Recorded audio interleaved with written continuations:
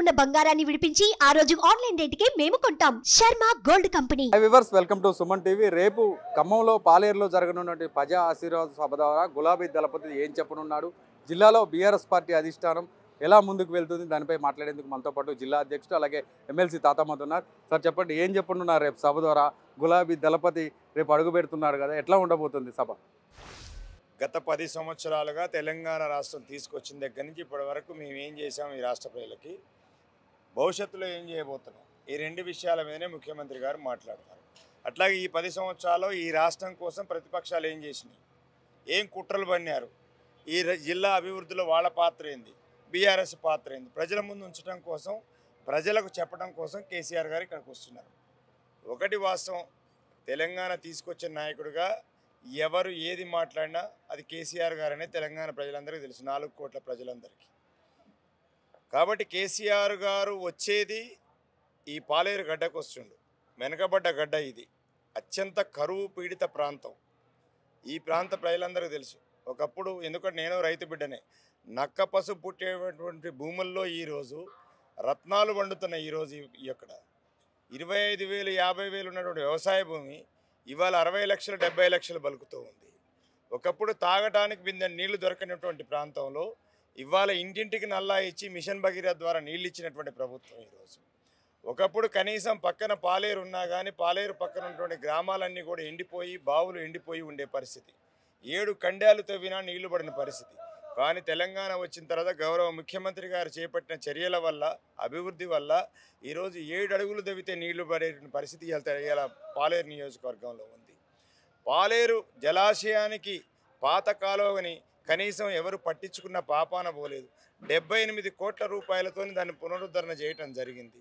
పాలేరు ఆయకట్టును స్థిరీకరణ చేయటం జరిగింది. ఇక్కడ ఉన్నటువంటి నీటి వనరులు పెంచడం జరిగింది. ఇరవై నాలుగు గంటల కరెంట్ ఇవ్వటం జరుగుతుంది. గతంలో మా ఇక్కడ ఉన్న ట్రైబల్ బిడ్డలు మెజారిటీ ఇక్కడ గిరిజనులు ఉన్నారు లంబాడీలు సుగాలీలు.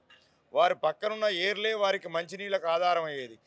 నాలుగు అడుగులు ఐదు అడుగులు తవ్వుకొని సెలవులు తీసుకొని కిలోమీటర్ రెండు కిలోమీటర్లు బిందెలు ఎత్తుకొని నీళ్ళకు పోయేవాళ్ళు ఈరోజు ఏ ఆడబిడ్డ కూడా ఇంట్లో నుంచి బయటికి వెళ్ళే పరిస్థితి లేదు. మిషన్ మిషన్ భగీరథ వల్ల నీళ్ళు ఇంటింటికి నల్లా పెట్టి ఇవ్వడం అనేది జరుగుతుంది. ముఖ్యంగా ఉమ్మడి ఖమ్మం జిల్లాలో టీఆర్ఎస్ పార్టీ ఏ వ్యూహంతో ముందుకెళ్తుంది? ఖమ్మం జిల్లాలో కాంగ్రెస్ పార్టీ తమకు పట్టు ఉంది అని నాయకులందరూ కూడా చెప్తున్నారు. దీన్ని ఎట్లా చూస్తారు?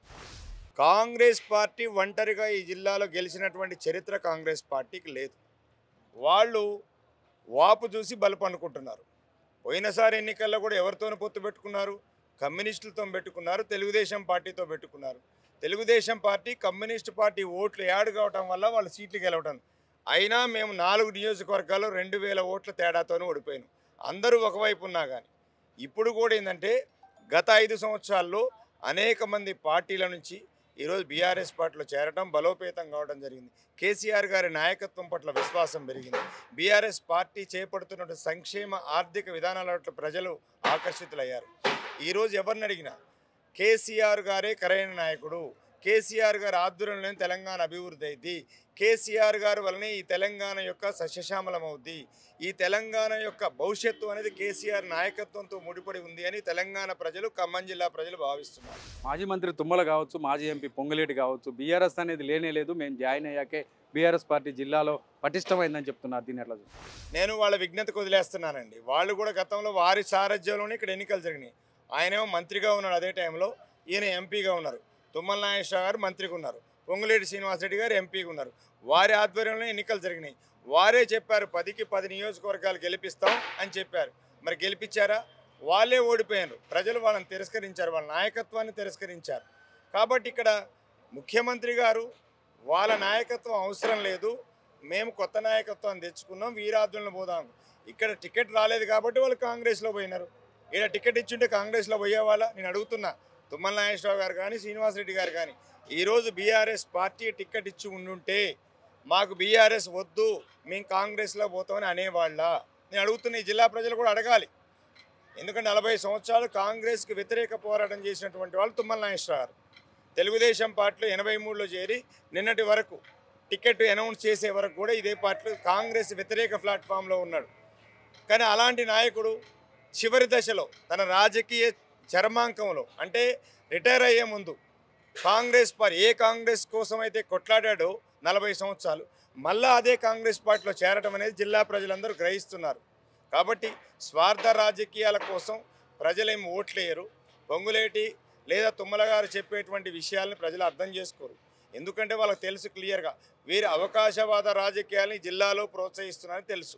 కాబట్టి ప్రజలు చాలా విఘ్నులు. ఎవరు చెప్పినా ఎవరు చెప్పకపోయినా ఈ రాష్ట్రం బాగుపడ్డది ఈ ప్రాంతం బాగుపడ్డది కేసీఆర్ గారి వల్ల బీఆర్ఎస్ వల్ల అనేది. ఇక్కడ మా ఎమ్మెల్యే గారు ఉన్నారు. మా ఎమ్మెల్యే గారిని పాలేరు నియోజకవర్గం ఏ మూలకెళ్ళని అడగండి. కందాల ఉపేందర్ రెడ్డి గారి వల్ల మీకు ఏమైనా ఇబ్బంది అయిందా? కందాల ఉపేందర్ రెడ్డి గారు అంటే మీకు ఏమన్నా వ్యతిరేకత అడగండి. మీరే అడగండి. ఏ ఒక్కళ్ళు కూడా మాకు ఉపేందర్ రెడ్డి గారి మీద వ్యతిరేక. ఉపేందర్ రెడ్డి గారు మంచి ఎమ్మెల్యే అందరిని మంచిగా చూసుకుంటూ ఏ టైంలో పోయినా మాకు అన్ని రకాలుగా ఆదుకున్నాడని చెప్తున్నారు. రేపు ఏ టైంకి కేసీఆర్ ఇక్కడ రానున్నారు? ఎన్ని ఎన్ని గంటల పాటు ఆయన మాట్లాడు రేపు మధ్యాహ్నం ఒంటి గంటకు వస్తారండి కేసీఆర్ గారు. ఒంటి గంటకు వస్తారు మీటింగ్ జరుగుతుంది. మేము కూడా ఇప్పటికే అన్ని అరేంజ్మెంట్ చేసాం ప్రతి మండలం నుంచి కూడా భారీగా వస్తున్నారు. మా ఎక్స్పెక్టేషన్ ఎనభై వేల పైగా ఉంటుందని మేము అనుకుంటున్నాం.